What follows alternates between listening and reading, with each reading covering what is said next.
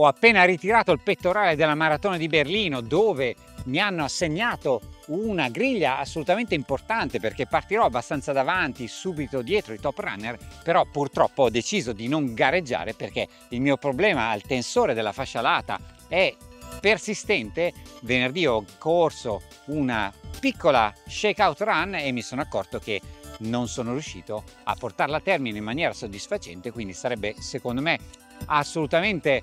vantaggioso aspettare qualche giorno prima di riprendere a correre in maniera importante, non vorrei star fermo per tutta la stagione e questa comunque non è un addio alle maratone ma semplicemente un arrivederci. Il test che consiglio al podista amatore è abbastanza semplice ed è assolutamente chiaro. Dopo la corsa cercate di non zoppicare. Se non riuscite a riprendervi rapidamente dal vostro infortunio è fondamentale farsi vedere da qualcuno e magari fare un'analisi che vi consente poi di capire quale sia la ragione specifica dell'infortunio stesso. La realizzazione della percezione dell'infortunio non è un concetto immediato, passano davvero diversi giorni, ma anche perché no, qualche settimana per capire se effettivamente possiamo riuscire a correre. Nei giorni passati ho avuto davvero tanti pensieri. Ho pensato che inizialmente potessi fare un po' di cycling, magari 50 km al giorno, per poi riprendere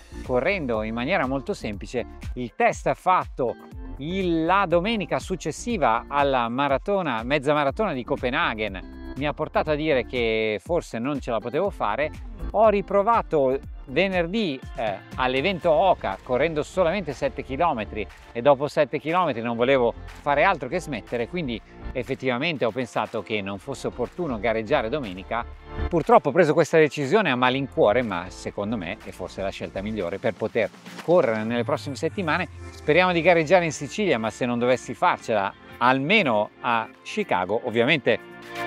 la stagione il personal best è compromesso ma soprattutto cercherò di fare una maratona prima della fine dell'anno e sicuramente questa maratona sarà a Valencia. È ovvio che dal punto di vista razionale essere a Berlino, me l'hanno detto anche delle persone che mi hanno visto qui all'Expo, è stranissimo non poter gareggiare, soprattutto sapendo che due settimane fa si stava davvero molto bene e si pensava di poter ottenere un tempo abbastanza buono per la mia età però è chiaro che bisogna ascoltare assolutamente il corpo, questa comunque non è una dichiarazione di sconfitta perché nei prossimi giorni cercherò di tornare a correre e adesso però mi devo far curare dal fisioterapista. Il mio infortunio a Copenaghen si è sviluppato in maniera davvero molto subdola, ho corso 6 km senza accusare nessun problema, poi un fastidio all'anca che poi si è rivelato il tensore della fascia lata che è infiammato in maniera molto significativa almeno il giorno dopo della eh, mezza maratona ho però avuto la possibilità di fare molto stretching e soprattutto di farmi vedere da un ottimo fisioterapista che mi ha suggerito un po' di riposo e comunque di fare cross training. Questa cosa mi ha permesso inizialmente di avere una speranza che ovviamente era vana di correre prima alla mezza maratona di Udine e poi qui a eh, Berlino ovviamente facendo il test ho capito che non c'erano le possibilità e ovviamente ho deciso di non partecipare domani. Credo inoltre che la Shakeout Run sia davvero un test abbastanza importante per chi avesse qualche problema fisico il giorno prima o due giorni prima potreste verificare se il vostro corpo vi consente di gestire una corsa abbastanza easy e semplice se nemmeno in una condizione di quel tipo riuscite a correre senza avere problemi, ovviamente abbandonate. Ci sono però tre cose che decido di fare dal momento stesso in cui mi riprendo da questo infortunio. Sicuramente ritornerò in palestra perché esercizi di forza sono secondo me fondamentali. A casa ovviamente in corpo libero potrebbe essere una soluzione, ma per me che faccio davvero tantissimi chilometri potrebbe essere un vantaggio competitivo rispetto a qualcuno che non li fa questi chilometri. Avevo smesso di andare in palestra dopo il Covid perché ovviamente non si poteva, poi non sono per ragioni legate ai miei viaggi riuscito a riprendere, adesso però secondo me è giunto il momento. In alternativa è fondamentale fare o esercizi a corpo libero oppure soprattutto dello stretching e magari delle corse in salita, anche questi le riprenderò a fare nelle prossime settimane, però ora è fondamentale davvero riprendersi.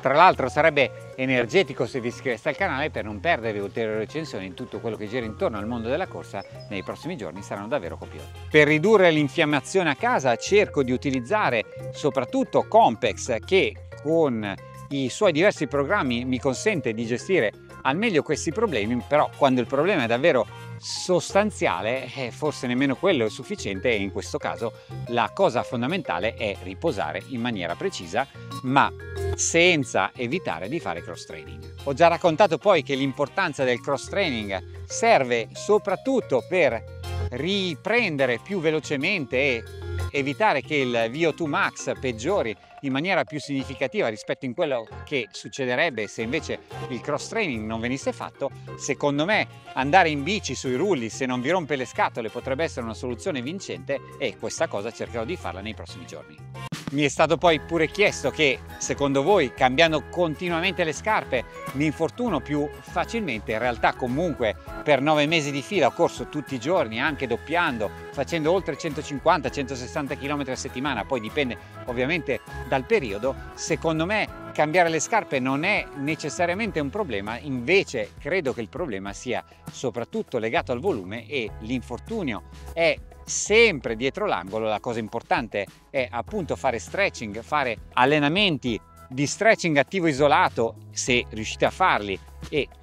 assolutamente esercizi di forza. A livello di scarpa con il carbonio anche in questo caso potrebbe crearvi dei problemi strutturali ma se lo utilizzate uno o due volte a settimana questa cosa non ha secondo me nessun impatto. Ovvio però se aumentate il chilometraggio in maniera significativa cosa che non è successa al sottoscritto, potreste effettivamente avere qualche problema in più rispetto al podista amatore che corre in maniera costante. Cosa farò di diverso nei prossimi giorni, non soltanto a livello podistico, ma anche e soprattutto di recensioni? Sicuramente cercherò di recuperare tutte le recensioni perse nelle settimane, nei mesi scorsi, dove ho focalizzato la mia attenzione soltanto sui reel più brevi che comunque mi hanno portato una maggiore visibilità, credo, a livello di podismo amatoriale. Devo però assolutamente recensire scarpe come l'Adidas prima, che secondo me potrebbe essere una soluzione ideale per il podista amatore e soprattutto post recupero la utilizzerò in maniera